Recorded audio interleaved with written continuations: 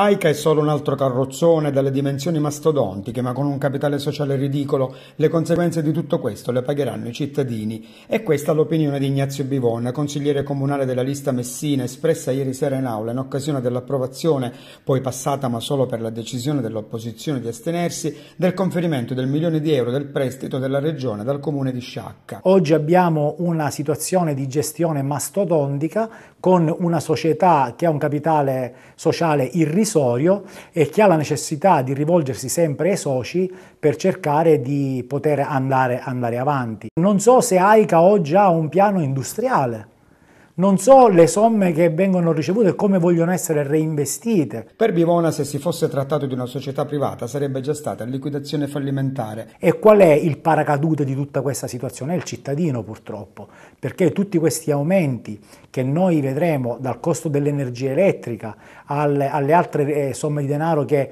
richiede ad esempio Girgenti Acque per quanto riguarda la percentuale degli investimenti fatti, sono tutte somme che porteranno AICA ad avere un bilancio fortemente in perdita e l'unico sistema che il legislatore ha messo in atto per salvaguardare questa gestione è quello dell'aumento delle tariffe. E non sarebbe stato così anche se ci fosse stato un privato ad amministrare l'acqua? Ma eh, io non so se sarebbe stato così, io una certezza ce l'ho, che eh, AICA è una società non bancabile cioè non sono nelle condizioni di andare in banca loro per poter avere un prestito. Di fronte a questa situazione il consigliere comunale Bivona fa notare che è sbagliato equiparare un modello di gestione privata virtuosa con l'esperienza di Girgenti Acque, perché quella, dice, è stata mandata a casa dalla magistratura. Ma non perché il sistema privatistico è un sistema che in quanto tale è un sistema negativo, perché quella gestione di Girgenti Acque era una gestione che tecnicamente non funzionava. Se noi dobbiamo essere sinceri con il cittadino, noi dobbiamo dire oggi al cittadino che non è vero che la gestione dell'acqua è una gestione completamente pubblica. Se eh, Sicilia Acque fosse un soggetto pubblico, oggi ragioneremmo noi in maniera completamente diversa. Invece abbiamo AICA che compra l'acqua a prezzi esorbitanti, la vende a prezzi esorbitanti, portando perdite per se stessa e perdite per i propri cittadini. Perché se poi AICA ha la necessità di rivolgersi a un privato per comprare l'acqua, vuol dire che il sistema non funziona perché gli utili li fanno altri e noi facciamo solamente solamente perdite. Questo mi porta a dire che il voto mio in aula ieri sera in condizioni diverse sarebbe stato completamente diverso. Ecco, posso chiederglielo perché allora ha agevolato, è un modo di dire, insomma, per capire perché che punto passasse? Perché ad oggi non c'è un piano B.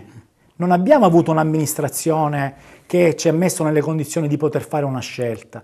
Noi abbiamo un'amministrazione che secondo me è perfettamente appiattita alle decisioni che si sono assunte all'interno all dell'AICA, è di questi giorni l'intervento del presidente di AICA che intervistato dà la roadmap di quello che dovrebbe essere il futuro di AICA. Non funziona così. AICA è una società con partecipazione pubblica e i soci sono i, i sindaci e i comuni. Non è pensabile che il Presidente possa dare un indirizzo di questo tipo non condividendolo preventivamente. Quindi ho proprio la sensazione che è un sistema che ha difficoltà a funzionare, ma noi lo vediamo poi nei risultati concreti sul territorio, perché vero è che negli ultimi giorni abbiamo visto qualche intervento che sembrerebbe eclatante per la città di Sciac, ma non hanno fatto altro che mettere un pozzetto accanto a un altro pozzetto esistente, ma noi vediamo che quell'obiettivo che voleva essere proprio della gestione pubblica non è stato raggiunto. Anzi, devo dire una cosa, noi abbiamo una grande fortuna, che è l'ingegnere Fiorino, il direttore generale, che si sta sacrificando e devo dire che è una bella risorsa che in questo momento questo territorio ha, ma se non ci fosse una risorsa di questo tipo io ritengo che la situazione sarebbe ancora peggiore di quella che è attualmente. Infine questo è il commento dell'esponente dell'opposizione in ordine al fatto che l'amministrazione non abbia numeri in aula. Stiamo cercando di dare eh, un segnale alla città a, uh, di collaborazione rispetto a determinate tematiche che riteniamo, riteniamo importanti. È frutto di un'anomalia che eh, anche se io vivo con i numeri in aula uh, positivi per la mia parte politica, devo dire che eh, dal punto di vista tecnico funziona poco questo, questo sistema. È una legge che eh, va radicalmente modificata perché non è possibile eh, che si possano avere configurazioni numeriche di questo tipo in aula che devo dire mettono più in imbarazzo noi che, che la, il sindaco.